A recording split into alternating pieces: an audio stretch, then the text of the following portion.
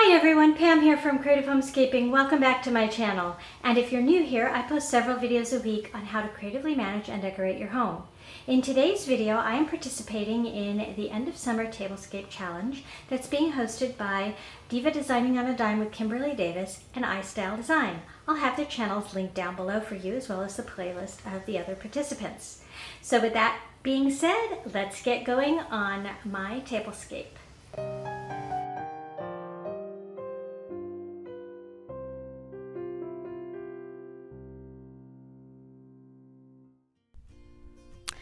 So I decided to set this tablescape up on the coffee table in my family room, which is right inside the door from where we have our barbecue, because I think we're going to barbecue for dinner.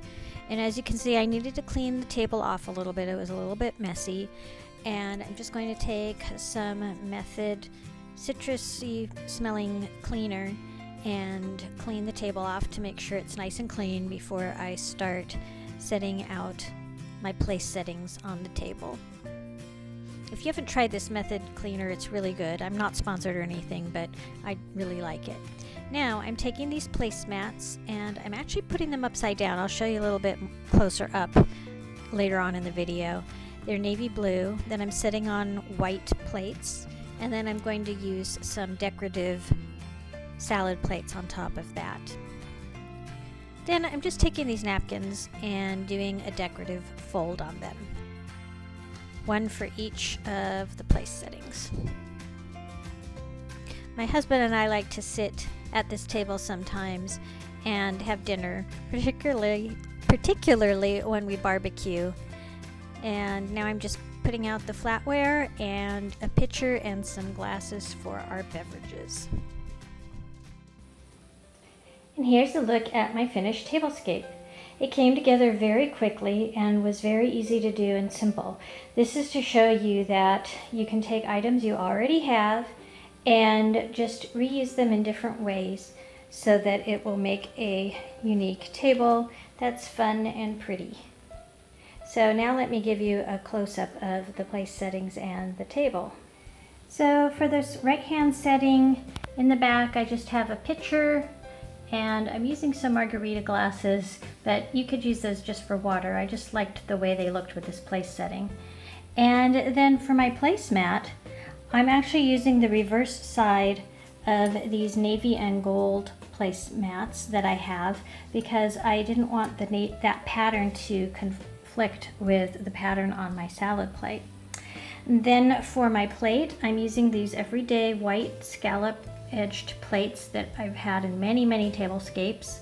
I'm then using these melamine salad plates. These are actually my outdoor dishes, but I didn't end up using them this year because I was using some lemon plates instead. But I just love these. I love French country, and these are definitely French country. And they have that little rooster in the middle. And because of that little rooster in the middle, I went ahead and made a fan fold napkin because I thought it would kind of mimic the tail feathers of the rooster. And these are just some napkins I've had for many, many, many years. Um, I think they came from Williams Sonoma. They were a gift, but I just loved them. They had a whole bunch of different French country style designs that year. And then I'm just using my blue handled bistro flatware that I always use when I have dishes with blue in them. And I really like how it turned out. My other place setting is exactly the same, although that napkin is folded with the blue edge on the right and this one has it on the left. That wasn't intentional, it just turned out that way when I was holding the napkins. And then I have this little wheelbarrow back here that I got in the spring at the Target Dollar Spot. I just stuck some bunches of Dollar Tree flowers in. I didn't even really cut them. I had two sunflowers that were already cut, but then I had this other bunch of mums and then this other bunch of sunflowers over here. And I just folded the stems, stuck them in there, and then put this little bird on top. Now I did put in some of the moss colored pebbles from Dollar Tree to hold the bird up a little bit. But I think you, it looks really cute like that with the bird peeking out of the wheelbarrow with the sunflowers. And I do have sunflowers for my early fall, late summer transition decor. So I am really, really pleased with this. I think my husband will like having dinner here this evening.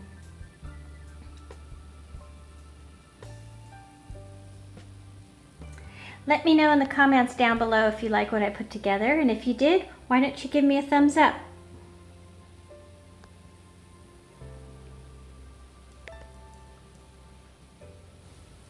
I hope you enjoyed seeing my end of summer tablescape. I am really excited because I love doing tablescapes, but I'm also excited because now I can get going full steam on my, my uh, fall decorating for the season. So I hope you'll come back and see me do some fall decorating. If you're looking for some inspiration now, I will link my playlist uh, from last year of my fall decor, which was more traditional fall colors. This year I'm going to go in a little bit different direction. And if you do like seeing decorating videos and haul videos and home remodeling and organization videos, then why don't you subscribe if you've not already done so. You can click on the icon in the corner of this video or the subscribe button in the description box down below. And to all of you who are already subscribed, I, I really want to thank you. And I want to thank all of you again for watching. Have a great summer, end of summer, everyone. Bye-bye.